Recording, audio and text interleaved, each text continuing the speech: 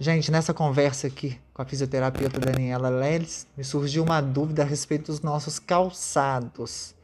A gente não sabe, a gente tem que olhar a beleza, o conforto, a ergonomia.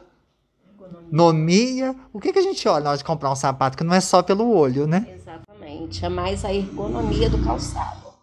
É, o, o, o ideal é, vai depender do tipo de trabalho da pessoa também, né? No caso das mulheres, por exemplo, o calçado ideal seria uma anabela com 2, 3 centímetros de altura atrás e uma leve inclinação para a frente.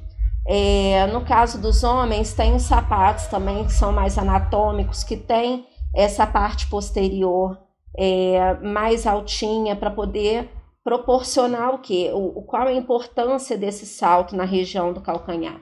É justamente absorver o impacto que vem do chão. Porque a pisada da gente, o primeiro impacto do, do, do pé no chão é através do calcanhar. E depois que a gente faz essa distribuição é, da pisada no restante do pé.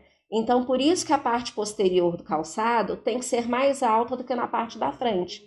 Porque se a gente, por exemplo, usa um calçado rasteirinha ou um calçado que ele seja todo da mesma altura, esse, esse impacto, esse atrito do chão, ele não é absorvido adequadamente. E ele vai irradiar para a região do joelho, para a região da coluna lombar.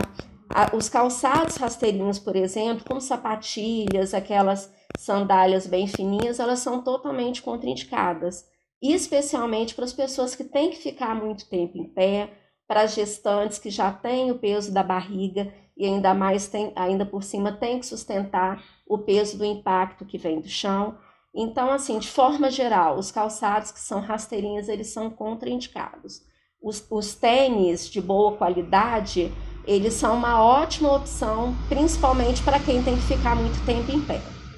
Tá, e aí depois de um dia andando calçado errado, tem que ter um bom colchão para dormir e a postura correta.